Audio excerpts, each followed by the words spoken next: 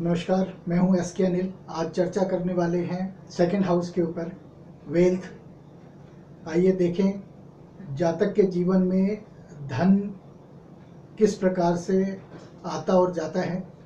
ऐसे क्या योग, ग्रह संयोग होते हैं जो धन कारक होते हैं? ऐसे क्या ग्रह संयोग होते हैं जो धन की हानि के कारक होते हैं? आइए प्रोमिस चेक करते हैं सबसे पहले। फ़र्स्ट हाउस का एसएसएल यदि अपने पीएस और एसटीएल के द्वारा दूसरे घर के अंदर चला जाता है तो लग्न ये प्रॉमिस करता है कि ऐसे जातक को धन से संबंधित जो है, वो बातें जीवन में आएँगी। और यदि ऐसा एसएसएल अपने एसएल के द्वारा धन के सभी अच्छे भावों में, दो, चार छ दस और ग्यारह आदि भावों में चला जाए तो ऐसे जातक के जीवन में धन की कोई कमी नहीं रहती है।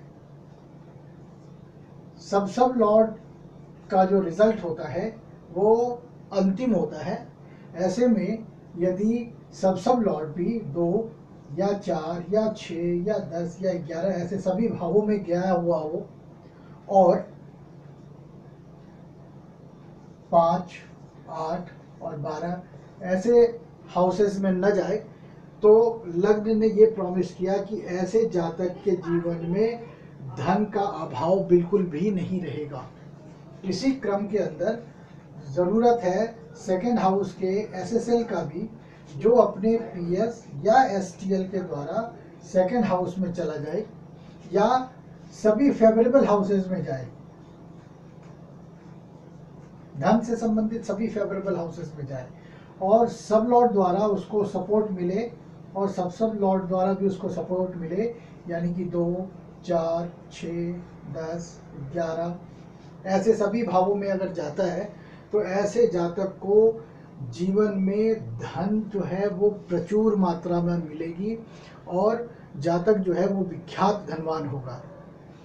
स्थानीय प्रसिद्धि ऐसे धन के मामलों में अवश्य मिलेगी। क्या राज्य स्तर पे या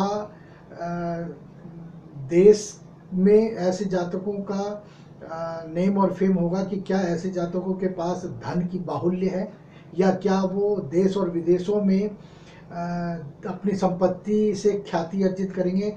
इसके लिए भी आवश्यक है कि बाकी के जो एक से बारह घरों के एसएसएल हैं, वो भी, वो सारे के सारे जो हैं, जैसे third house fourth house fifth house six house seventh ऐसे करते करते बारह के बारह घर अपने S T L P S के द्वारा जो है, वो दो, चार छ दस और ग्यारह भावों में जाए और उनका एस एल और उनका एस एस एल भी दो, चार छ दस, ग्यारह आदि भावों में जाए। तो ऐसे व्यक्ति अपने धन के कारण पूरे विश्व में ख्याति प्राप्त करते हैं। इसी क्रम के अंदर आइए, दिखाएँ। क्या कोई ऐसा ग्रह संयोग भी बनता है जिससे व्यक्ति के पास धन का पूर्णतः अभाव हो? आर्थिक स्थिति ऐसी खास्ता हो कि उसके जीवन यापन में भी परेशानी हो। आइए देखते हैं। फ़र्स्ट हाउस का एसएसएल अपने पीएस और एसटीएल के द्वारा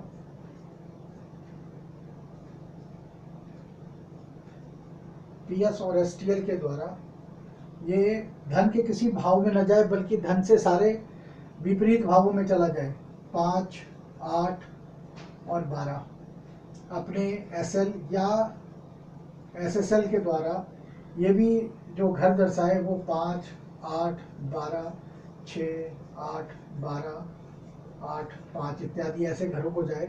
सेकेंड हाउस का एसएसएल वो भी अपने पीएस या एसटीएल के द्वारा ये पाँच, आठ और बारह में चला जाता है और एसएल के द्वारा कहीं पे भी दो में नहीं जाए, जो धन स्थान है ग्यारह में नहीं जाए, दस में नहीं जाए छ में नहीं जाए तो ऐसा व्यक्ति जो है, वो धन के अभाव में जीवन व्यतीत करेगा और यदि बारह के बारह घर, एक से लेकर के बारह तक के सभी भाव एक से लेकर बारह तक के सभी भाव के एसएसएल यदि दूसरे भाव में न जा करके पाँच, आठ और बारह में जाएँ, यहाँ पे छः, आठ और बारह जैसे घर दिखाएँ, पाँच, आठ जैसे घर दिखाएँ, ऐसे घरों के अंदर अगर जा रहे हैं तो ऐसा व्यक्ति जो है वो बिल्कुल धन से रिक्त होता है और हमेशा जो है वो अपने आर्थिक समस्याओं से घिरा रहता है। आइए, ये एक तो सबसे ऊपर वाले क्रीम लेवल की बात करी। सॉरी और एक मैंने बात करी, बिल्कुल जिनके पास धन का अभाव है उनका। ऐसे बहुत सारे योग संयोग दिखेंगे जिसमें लोग middle class lower middle class या अपर मिडिल क्लास में जीवन व्यतीत करते हैं। देखिए, धन की स्थिति उनके जीवन में कैसे रहती है?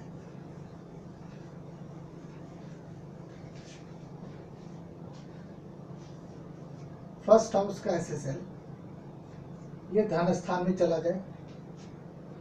जिस किसी में भी, पहले घर का एसएसएल जिस किसी भी भाव में जाता है, वो उस भाव से संबंधित जो सिग्निफिकेशन से उसको प्रॉमिस करता है। अब यहाँ पे बात कर, धन की तो दो लेते हैं। और यहाँ पे अगर पाँच, आठ और बारह या एक, ऐसा कुछ आ जाए और साथ में दो, चार छ दस और ग्यारह आ जाए तो ये धन के हानि के नंबर हैं और ये धन के लाभ के नंबर हैं। ऐसे अगर मिले जुले नंबरों में हो सेकेंड हाउस का भी जो एसएसएल है, ये अपने पीएस या एसटीएल के द्वारा ये दो में चला जाए।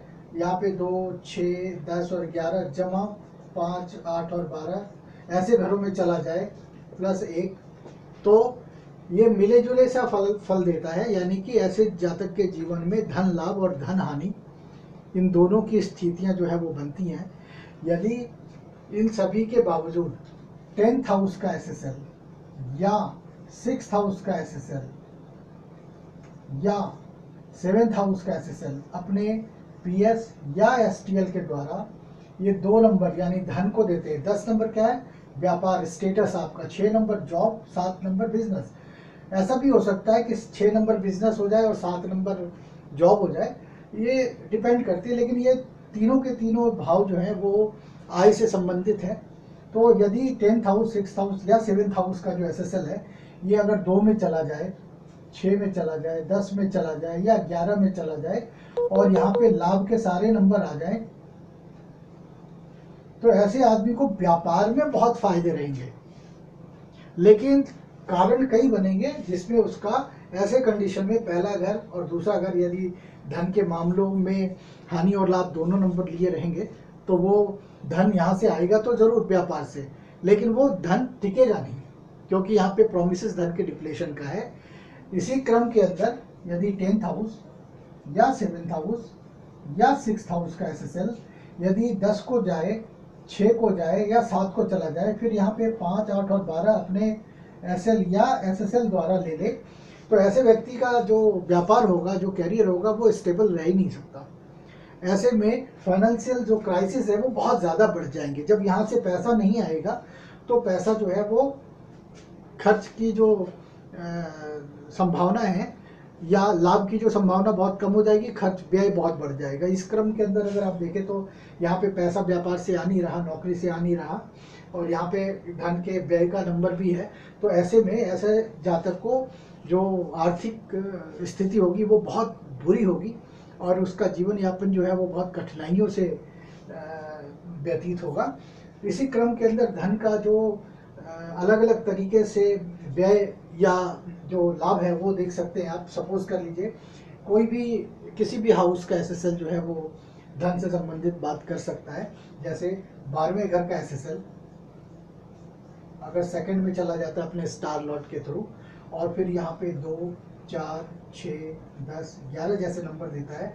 तो ये क्या है? बारहवा घर निवेश का नंबर है, यानी कि वो जातक धन का निवेश करके व्यापार से या किसी अन्य कार्यों को करके बहुत ज़्यादा धन अर्जित कर रहा है। इसी क्रम के अंदर यदि दो को इन्वॉल्व कर ले ट्वेल्थ हाउस का एस दो को इन्वॉल्व कर ले और एसएल द्वारा पाँच, आठ और बारह नंबर दे दे, या पाँच और आठ नंबर दे दे, ऐसे कोई नंबर अगर देता है तो ये कहता है कि ऐसा जातक जो भी निवेश करेगा, वो सारी की सारी संपत्ति, पैसा बर्बाद हो जाएगा। ऐसे लोगों को निवेश नहीं करना चाहिए। पाँचवें घर का S S L fifth house का एस एस एल यदि दो को, यदि बारह में चला जाता है तो पाँचवें घर की प्रॉपर्टी से वो बारहवा घर लिंक करता है।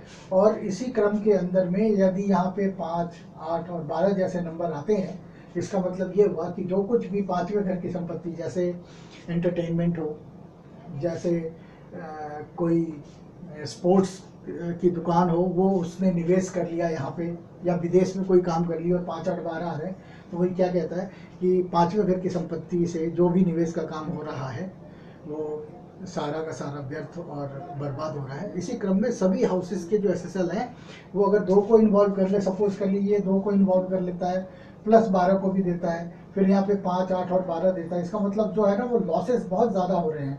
और यही दो, चार छः दस और ग्यारह जैसे नंबर दें तो आप ये कह सकते हैं कि पाँचवें घर की प्रॉपर्टी से निवेश में बहुत ज़्यादा फ़ायदा है। इसी क्रम में आप बारंबार जो है वो कुंडलियों का अवलोकन करते रहें। आप देखेंगे कि आपको धन से संबंधित जो बातें हैं, वो बहुत अच्छी तरीके से समझ में आ रही हैं। प्रयास करते रहिए। धन्यवाद।